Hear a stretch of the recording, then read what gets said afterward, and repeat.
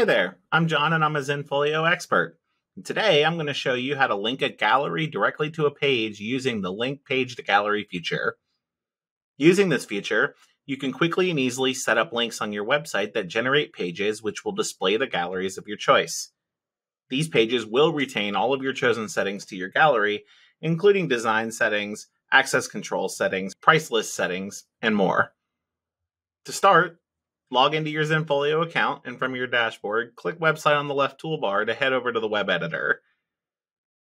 Once you're in the web editor, click the orange circle with the plus icon to the right of Site Pages to add a new page. Once you do this, the new page dialog box will pop up. Here, choose Link Page to Gallery, and then click the orange Add Page button. A new pop up window will appear. In this window, navigate to the gallery you'd like to link to the page and click it. You can tell when you've chosen the gallery because an orange radio button will appear to the left of it.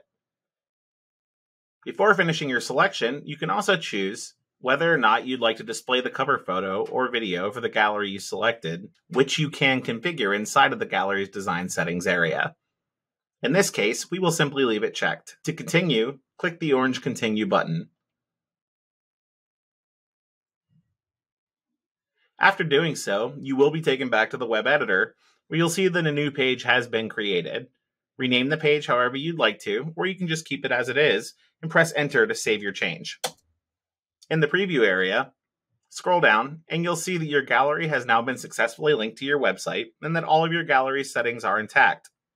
You'll also see that a new link has been generated in your website's navigation menu up top, which will link directly to this page as well.